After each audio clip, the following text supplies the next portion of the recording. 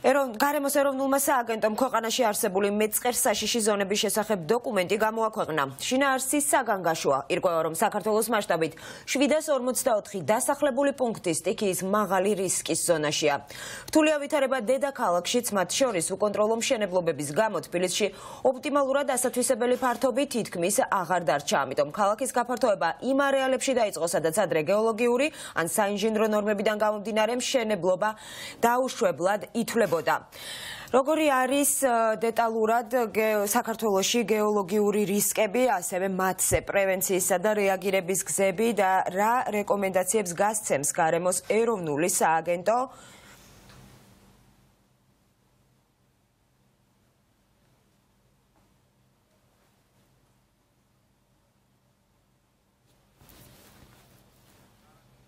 ნინა მაჩაბელი გვერდება ახლა პირდაპირ ეთერში და თემის დეტალებზე საუბარს ის განაგრძობს. ნინა პირველ რიგში რა საფრთხები იკითხება დოკუმენტში და ასევე როგორი არის უწყების მიერ გაცემული რეკომენდაციების შინაარსი გარემოს ეროვნულმა სააგენტომ 2023 წლის გეოლოგიური ბიულეტენი გამოაქვეყნა დღეს, სადაც საუბარია იმ სტიქიურ მოვლენებზე, რომელიც მოხდა 2023 წელს და რაც შეიძლება მოხდეს უკვე წელს 2024 წელს და ნამდვილად საგანგაშოა ის პროგნოზები, რომელსაც სპეციალისტები ვარაუდობენ, რომ შეიძლება ჩვენს ქვეყანაში მოხდეს, მოხდეს. დავიწყოთ იმით, რა ხდება რეგიონებში, როგორი ვითარება იქ, როგორც გარემოს ეროვნული სააგენტო ამბობს, საქართველოში ყველაზე მეტად სტიქიურ აქტიურ ზონად, მაღალი რისკის ზონად დასახელებულია აჭარა, სადაც 132 დასახლებული პუნქტია მოქცეული. ამავე დოკუმენტის მიხედვით სტიქიური მოვლენის მეტნაკლებად საფრთხის ქვეშ გურის 180 დასახლებული პუნქტია დასახელებული. მათ შორის მაღალი და საშუალო რისკის ქვეშ არიან მოქცეული სხვადასხვა დასახლებებზე მყოფი ოჯახები. სამეგრელო სამეგრელო ზემოსვანეთის მხარეში მაღალი რისკის ზონაში დოკუმენტის თანახმად დასახელებული პუნქტი სულ 22%-ია, რაც 115 სოფ სოფელს შეადგენს.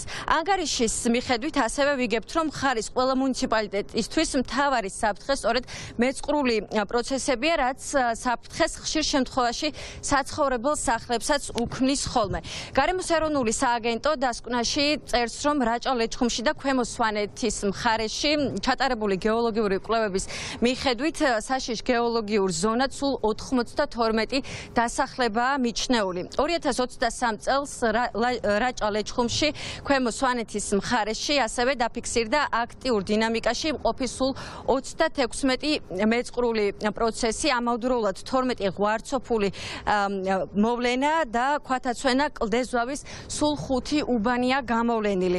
ბიულეტენში ასევე დეტალურად არის საუბარი იმასთან დაკავშირებით თუ რა და რატომ მოხდა ასეთი უბედურება შოუში, რასაც 33 ადამიანი ემსხვერპლა. რაც შეეხება შიდა და ქართლს აქ მაღალი რისკის ზონაში მოქცეულია სულ 26 დასახლება. ყველაზე კარგი ვითარება კი უნდა ითქვას, რომ არის აღმოსავლეთ საქართველოში, კახეთში, სადაც მაღალი საშიშროების უბნად დასახელებულია სულ 23 სოფელი. ასევე გარემოს ეროვნული სააგენტო გასცემს რეკომენდაციებს და ამავდროულად პროგნოზს აკეთებს რა შეიძლება მოხდეს 2024 წელს ამ რეგიონებში. და ნათქვამია რომ თუ გაგრძელდება მიწისძვრები და უხვინალექი მოვა ჩვენს ქვეყანაში მაშინ არ არის გამორიცხული რომ ასეთი მასშტაბის რაც იყო წინა წელს მოვლენები კიდევ განმეორდეს ეს ეხება სწორედ გეოლოგიურ მოვლენებს რაც ეხება რეკომენდაციებს რომელსაც ეს უწყება გასცემს არის ის რომ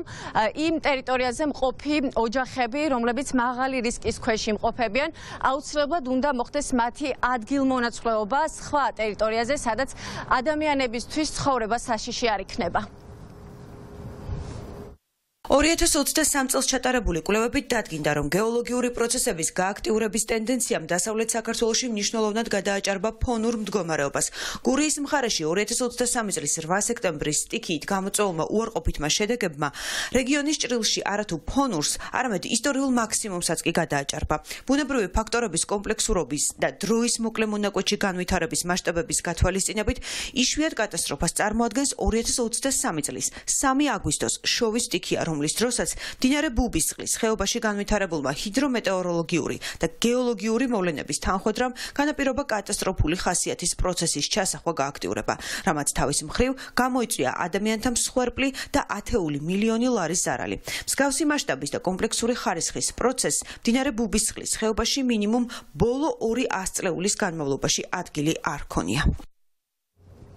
დოკუმენტის თანახმად განსაკუთრებით რთულია ვითარება დედაქალაქში, სადაც ნათქვამია, რომ იქიდან გამომდინარე, რომ დედაქალაქის ყველა ტერიტორია ფაქტობრივად შეიძლება რომ ადამიანებმა იცხოვრონ ათვისებულია, ამ კონკრეტულ შემთხვევაში უკვე მაღალსართულიანი კორპუსების მშენებლობები მიმდინარეობს იმ ტერიტორიაზე, რაზეც ადრე გეოლოგიური და საინჟინრო კვლევებით აკრძალული იყო მშენებლობა და სწორედ ამაზე აქვს ხაზგასმული გარემოს ეროვნულ სააგენტოს დოკუმენტში და ამაზე საუბრობს, რომ არ შეიძლება ამ ტერიტორიებზე მშენებლობები და ასევე ნათქვამია ის, რომ 32 მაღალი და 13 საშუალო რისკის ზონა არსებობს დედაქალაქში. ასევე ნათქვამია გარემოს ეროვნული სააგენტოს მიერ ისიც, რომ იმ შემთხვევაში თუ უხვინალექი იქნება დედაქალაქში ამ წლის განმავლობაში და ასევე მიწისძვრები სეისმურად აქტიური იქნება ეს წელი საქართველოსთვის, მაშინ არ არის გამორიცხული, რომ იყოს ღვარცოფები და სხვა სხვა მეწყურული პროცესები პროცესები განვითარდეს. მათ შორის დასახელებულია რამდენიმე ასეთი საშიში ლოკაცია, მაგალითად საუბარია ვერეს ხეობაზე, ლეხთა ხევზე, ნუცუბის ძის ფერთობზე და სხვა ფაქტობრივად სი არის საკმაოდ გრძელი და ახლა შეუძლია მაყურებელს დედაქალაქთან დაკავშირებით მოისმინოს თუ რას წერს გარემოს ეროვნული სააგენტო. ტერიტორიის განვითარება урბანიზაციის ხანგრძლივ პერიოდს მოიცავს. რთული და სენსიტიური მორფოლოგიური და გეოლოგიური გარემოს პირობებში განიცდის ტექნოლოგიური დატვირთვის მაღალ წნეხს, რასაც თანსდევს ბუნებრივ ტექნოლოგიური პროცესების ფართო მასშტაბით განვითარება და გეოლოგიური გართულებების კრიტიკულ ზღვრამდე მიყვანა.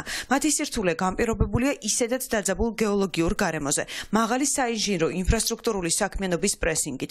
გამომდინარე იქიდან, რომ ოპტიმალურად ასათვისებელი ფართობები თითქმის აღარ არის, ქალაქმა გაფართოება რიგ შემთხვევებში პერიოდში დაიწყო იმ არეალებში, რომელიც ადრე საინჟინრო გეოლოგიაში მიღებული ნორმებით ითვლებოდა მშენებლობისთვის მიუღებლად, ან და უკიდურესად რთულად. ასეთებია ტექნიკურად ძლიერ აშლილი და დიდი დახრილობის მამადავითის, ნუცუბიძის, ლისის ქედის, აღმოსავლეთ დაბლობების, იყალთოსა და ნაძალადევი მახათას ფერდობები. გარემოს ეროვნული სააგენტო ამბობს, რომ საქართველოს მასშტაბით 744 დასახლებული პუნქტი სტიქიის მაღალი რისკის ზონაშია. როგორ შეაფასებენ სპეციალისტები გარემოს ეროვნული სააგენტოს მიერ გაცემულ და დაწერილ ამ დასკვნას და რა პასუხი ექნება ხელისუფლებას, როგორ აპირებენ ადამიანების დაცვას, მოსახლეობის მოსახლეობის მოსახლეობის გადარჩენას ფაქტობრივად და განსახლებას იმ რეგიონებიდან, სადაც საშიში ზონები არის, ამას უკვე ჩვენ ხვალ გავიგებთ, როდესაც ოფიციალური პირები და სპეციალისტები კომენტარებს გააკეთებენ მედიასთან.